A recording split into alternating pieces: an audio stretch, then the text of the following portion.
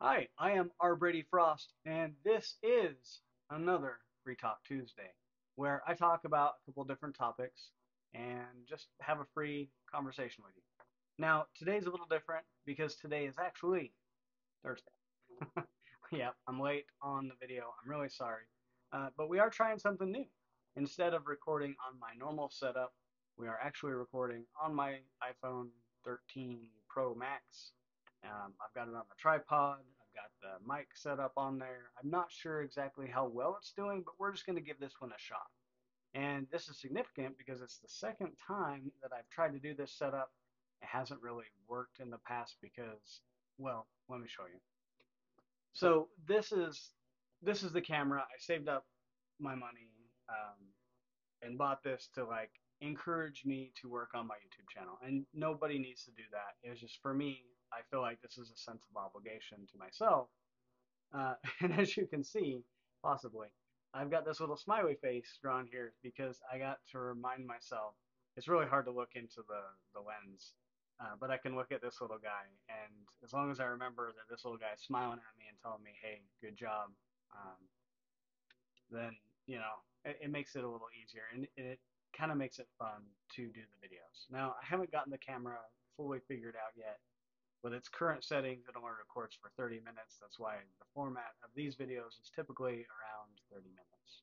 Uh, but I am trying to set this up because I was going to do a stream not a stream, sorry, a uh, writing sprint.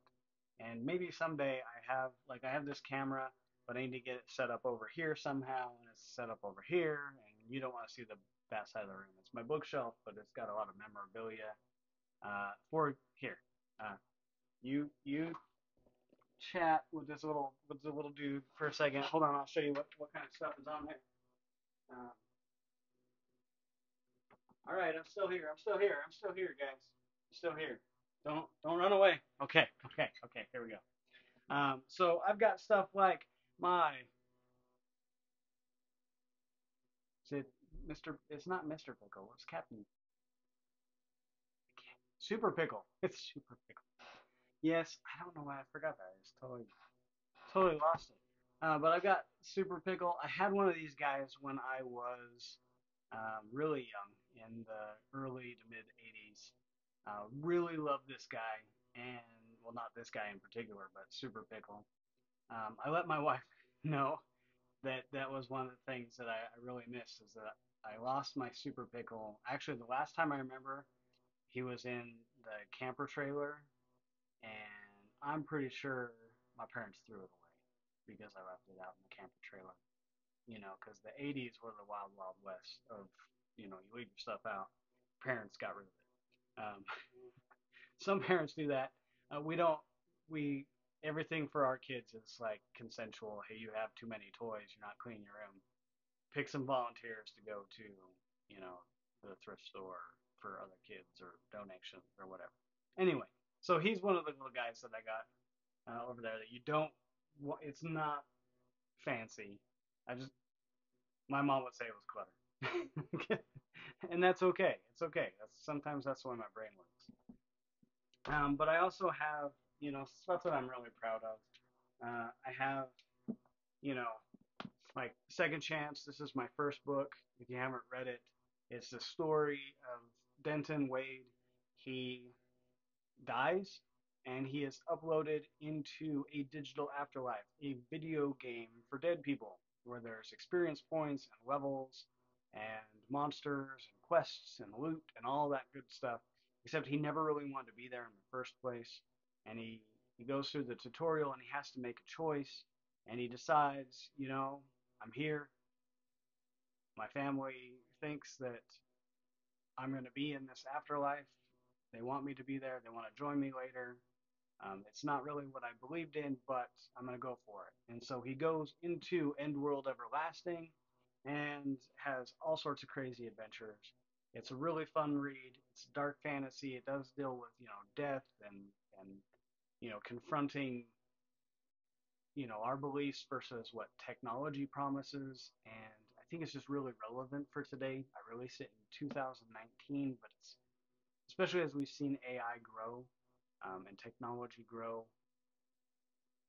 I think it's very relevant today just to, to think about the promises of technology. And, and for Denton, it's, you know, do I exist or am I now a program who is it's designed to think that I am me, right? So there are some deep questions, but you know, overall, it's about his adventures in Endworld Everlasting, meeting people, people he can trust, people he can't trust, um, all sorts of different things.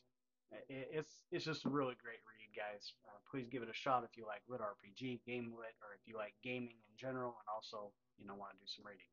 I the next thing I have is The Broken Blade is the sequel to Second Chance, and it picks up, you know, about two weeks after after book one finishes. Uh, a little bit darker of a book, but the stakes seem to be higher. I don't want to give anything away with book one, um, but if you liked book one, definitely The Broken Blade. Um, this is I'm sorry, camera, dude. Uh, over here, this is the cover. Uh, I've mentioned this in some of my other videos. This is the cover for Seeking Truth, which is book three. It is still underway. If you have read book one and book two, and you would like to read uh, the draft of the first seven chapters of Seeking Truth, which there there may be some changes coming, so like it's a good way to get a version of it. Um, you can check it out on my Ream page. It's just reamstories.com, R-E-A-M stories.com slash R Brady Frost. And just follow me, guys. Don't sign up for any of the paid tiers. I'm not at the level where I'm producing enough uh, to make that worth you joining and paying, you know, like a Patreon type of model. Uh, maybe someday. I, I would like to get there. I would like to write full time, but I'm just not there yet. So, uh, with that in mind, I do want to talk about my writing. Um, oh, oh, wait, wait, wait. I almost forgot. There is also this. And I don't know what happened here.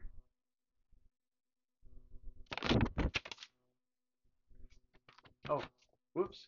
Okay. I think I think uh, I got a low battery notice. All right, there's also this on my shelves. This is the weakest frost mage. This is probably one of the most the proudest things I've done outside of you know raising my kids um, and loving my kids and being a part of their lives. But this is a book that I co-wrote with my son Griffin. He actually wrote the story. I helped him do the editing and polishing, um, but it's very much his story and it's the story of Zach, Zachary Smith. Uh, he starts out playing a powerful barbarian in the world of Kingdoms Unbound. It's a totally unrelated uh, video game, but just as with Denton Wade, he unfortunately dies and is uploaded into Endworld Everlasting. This this book is amazing, guys. If you if you read my books and you thought they were good, this one's better. I promise because uh, I took everything that I've learned in my process and I've, I've helped Griffin with his story, um, helped him tighten it up. It took years to write that book. I'm very proud of all the work he put into it. I'm very proud of the story that he created. We were able to polish it up and make it really, really nice. And um, I'm not trying to take any real credit with that. Griffin is amazing. So uh, please definitely check that out. Um, the Weakest Frost Mage is available on Amazon. Uh, paperback, hardcover, ebook. It's in Kindle Unlimited, so add it to your Kindle Unlimited to be read pile. Um, it's also going on sale uh, later on this month, and I'll have to do a video for that specifically. Uh, both the Weakest Frost Mage and Second Chance ebooks will be up for 99 cents between November 25th and December 2nd. Okay, so I guess I tied in this whole mess of a bookshelf, gave you a little bit of childhood memorabilia, and talked about my books. Hey, that's awesome. So let's talk, while we're still talking about writing, um, and I, I do have to get into my writing sprint because I haven't gotten any words yet today.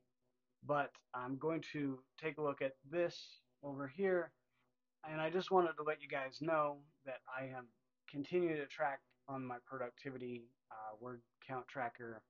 Uh, I have written every day in September. I wrote every day in October, and so far, except for today, which I will do, I'm setting up to do um, every day in November. So my totals for September were 8,542 words. For October, it was 9,073 words. And so far, in November, I have 1,948 words. So my goal is to try to increase my word count every month. And for those of you who are writers, obviously those are small word counts. I, I work a full-time job. I have a family. Uh, the last few years have been really rough. And this is me trying to claw my way back to my dream. And some days, my lowest word count day was on Wednesday. The first Wednesday in September, it was 44. No, no, I actually, I have 43 words. That was my lowest. But the average is usually around 200 or so. I have days where I write 500 words. I have, yesterday I wrote 562. You know, some days are easier than others, but I'm writing every single day. And having that habit is, and rebuilding that habit is the first, it's kind of like the path that I'm laying down to be able to get back to where I was before. And, you know, it's okay to struggle. And if you're struggling with your art and or whatever it is, your passion, and you, some days you just don't feel like, you know, between work and whatever else is going on in your life, you don't have it in you, you know, just give it your best. Show up to the extent you can and keep pursuing it, you know. Um, but my word count month over month is it's getting better, I think. Doing pretty all right. Uh, and I'm I'm going to keep working on it, and we're going to get there. And this book is going to become a reality, hopefully fairly soon. Not fairly, fairly soon, but as soon as I can. You know, I still want to be kind to myself in that journey. So, for those of you who are waiting for book three, I really appreciate you. Um, I appreciate your patience and understanding. I I'm there. You know, I look at this pretty much almost every day, and not a day goes by that I don't think about book three. So I will get it done, and it will be an amazing book. And this is a promise that I'm not only making to you, but I'm also making it to myself. It's very important to me. All right, so we've talked about writing, we've talked about gear and setup and whatever. Uh, let's move on to the next topic. What am I reading this weekend? What are you reading this weekend? Hmm. Well, I don't know if any of you have heard of the series Dungeon Crawler Carl, but I am digging that series. I really like it. And uh, I've met Matt Dinniman, uh, the author. He is an amazing guy, uh, super kind, and uh, just just an all around respectable dude. Um, really like him as both a a person and as an author. And I'm really excited that I'm I'm going to be reading um, or starting the seventh book in the series. It's called This Inevitable Ruin. Right now, you can get it in paperback format. I believe it's 280,000 words long. It's going to be a hefty read, but I've been really looking forward to it. Um, so I'm going to get it this weekend. It's super popular now, and I I just I don't want to run into any spoilers. So I'm to be very careful uh, about how I interact in different communities because I don't want this book spoiled. I have things that I figured out earlier on in the, the series that I've been tracking and watching develop. And I think a lot of that's going to kind of come to a head here in the seventh book. And I'm really excited to see how it plays out. So, um, yeah, I'll be reading the I'll be reading the ebook. No, no, no, sorry, the paperback. I read the ebook of book six, and then I listened to the audiobook afterwards. And I'll be reading the paperback of book seven, and then I will also listen to the audiobook later. And uh, I, I just I think Soundbooth does an amazing job, but obviously, you know, Matt writes an amazing story. So super, super excited about it. Uh, yeah, so that's what I'll be reading this weekend. I get it on Saturday. I can't wait. and uh, yeah, uh, speaking of what I'm going to be doing this weekend, I'm also going to be doing writing. And the whole point of setting up the camera and everything and not recording on the camera right now is that I'll be doing a writing sprint. Hopefully, I get that uploaded uh, to the channel. And if you just want to watch and see what it looks like when I write, apparently, I've learned I pinch my lip a lot when I write. uh, but it's also kind of fun just to see like how a scene is built. And I think if you squint, you can actually read what I'm writing. Um, but if you're a writer and you want to do a writing sprint, but you don't want to do it alone, come join me. You know, it, you're more than welcome to. That's kind of why I put the videos there. But you know, obviously, if, if fans want to see what the process looks like when I write, then you know, it, it's there for you too. Uh, what else? What else? What else? Um, that takes care of writing sprints. Oh yeah. So this week has been kind of tough. I'm not gonna lie, it's been tough. Uh, the furnace is having problems. Uh, luckily, whatever the problem is, we're able to keep the house at about 65. It'll power cycle on and off, and I don't know enough about HVAC to get in there and start trying to clean like the flame sensor or anything like that. I, a furnace is expensive, and I can't afford to break it. Unfortunately, this is the time of year where everybody is now, after a warm October, and now getting into a cold November, everybody's turning on their furnaces, and a lot of people are finding that theirs is not running the way that they would like it to. So all the HVAC technicians are like booked out solid. So I don't know. We've got space heaters. We're gonna do the best that we can. We're gonna make sure we keep the kids warm, bundle up in blankets. You know, so far we've been able to maintain about 65 degrees. It did get colder today because I like they're installing fiber optic in our neighborhood, which is huge. We've been here about five years. No, almost six years. Almost six years. And I've been like, I wonder when they're going to put fiber in. Well, now. Now is the answer. They're putting in fiber now. But I think they hit a power line or a power box or something today. So the power was out for a couple of hours. And even though we were able to maintain about 65 with it cycling on and off, with no power, you know, we started dropping and it got pretty cold, and that was it was not fun. And you can't run. Well, you can run the. Uh, we have a gas fireplace, but the blower doesn't work you don't have electricity for it. So, cheers to electricity and modern living. May we return to it soon.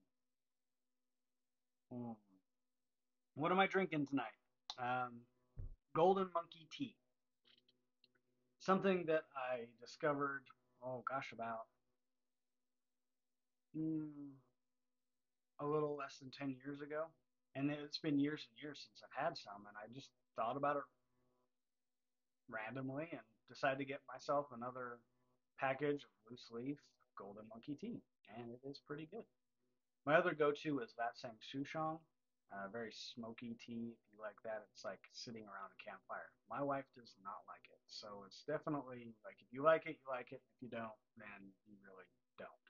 Um, but it's something I'm not a tea snob, but something that I enjoy. All right. Well, I guess this is kind of a shorter video today. I've done a couple of different takes. I, I've been trying to do no takes and just speaking trying to get used to the camera, but obviously with the switch up of the equipment and going to my phone, it's been a little different. So it's it kind of thrown me off, but we're learning, and that's that's the biggest thing, right? Uh, growth on the channel. We actually gained a couple subscribers and lost one. It might have been the person who subscribed. I've been uploading a few more shorts. Sorry, I've been uploading some shorts to to the channel, and um, it seems like that's where I've been getting subscribers. So that might be something that I need to do a little bit more. Uh, one of the things that I've been thinking about uh, is content that I'm creating for my channel. And as an author, you know, I've been trying to look, and I think I mentioned this before. We'll go through this and then I'll wrap up the video, but a lot of the videos that I'm looking at of how to grow your YouTube channel, they're channels that decent people, but all their content is how how to grow your YouTube channel, especially like over 40. Well, I'm over 40. I'm trying to grow my YouTube channel, but I can't create content the same way that these other channels are creating content because they're creating content around building a YouTube channel. So their audience is me but I'm not my own audience for what they're telling, like what they're demonstrating that I do, right? They're telling me I could do something different and get the same results, but my audience is obviously different because they're not looking on how to grow a YouTube channel.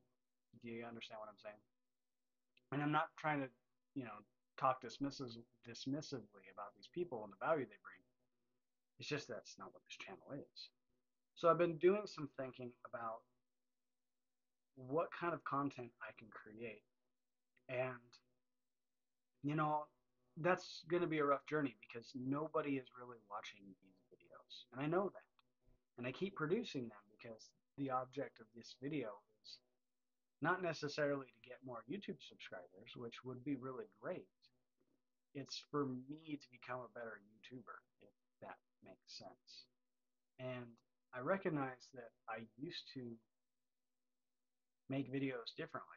You know, the videos that I took down, I look at them and I say, gosh, I wish I, I would have stuck with it because I had a lot more energy and a lot more confidence um, to try risky things and to, excuse me, be a little more weird. Um, and I don't know, just like have fun with it, right? And now I, it's like I, I have to grow my YouTube channel because I, I need to finally accomplish this goal that I had that I set aside, you know, and kind of forgot about. And now that I'm getting older, I I want to do these things. Like I'm I'm watching time pass and you realize, man, you don't have as much as you thought you did, or you know, being distracted becomes more of a liability than just something you get to do. If you get distracted and you don't do the things you want to do, you don't do the things that you want to do, you never get done. So, yeah. But I think I need to take a lesson from some of the videos that I was creating before. Consider my audience because as an as an author,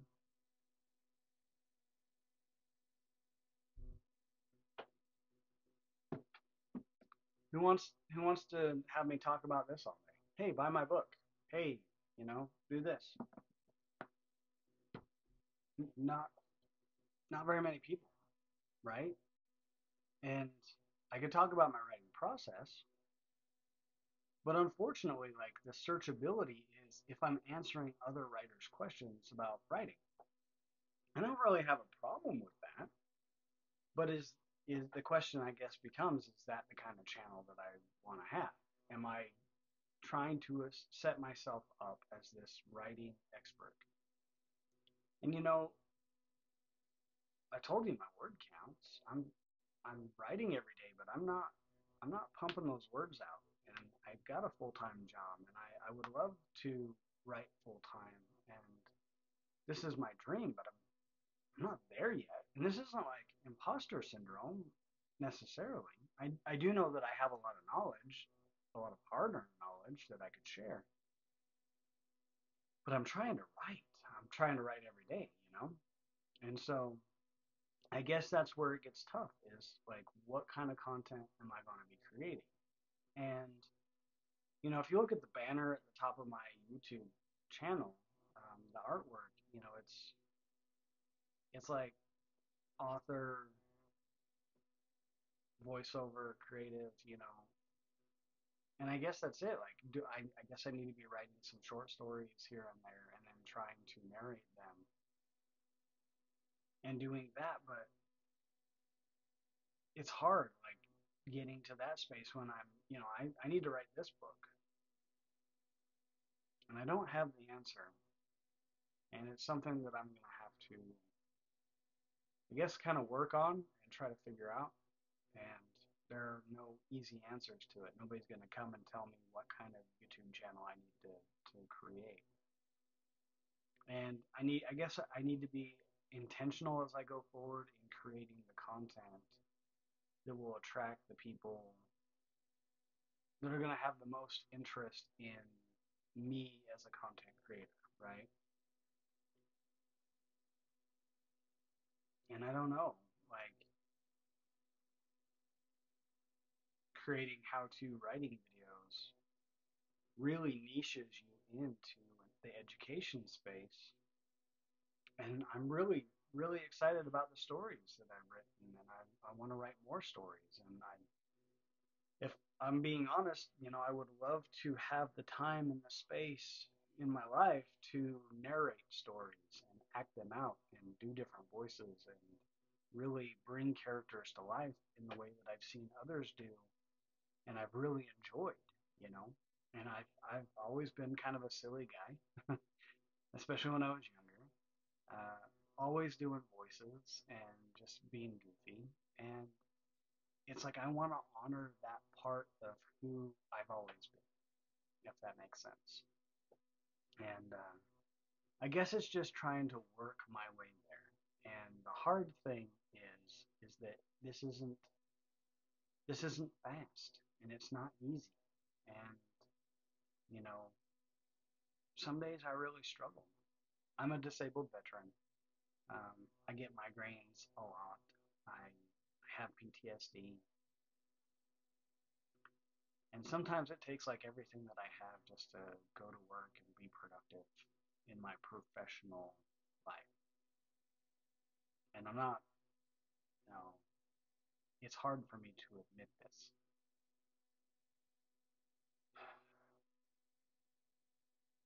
But as long as I, like I'm, I, it feels like I'm stuck between two worlds, if that makes sense. That I want to leave the professional life behind because it's so taxing. And I want to have the dream, but I can't have the dream until I build it, right? And to do that, you have to put in the work. And you have to, you know, do spreadsheets to to track your word count and you have to show up every day and you have to do it when you don't think you have anything left in you and that's where i'm at right now is you know trying to do all these things. And we'll get there. Like i promise we'll get there. But it's going to take a little while and that's okay. It's just I need to start being intentional about, you know, like what kind of videos I want to make and you know what what kind of channel I want this to be. And every, all the advice is if you want to get subscribers, you have to answer questions and that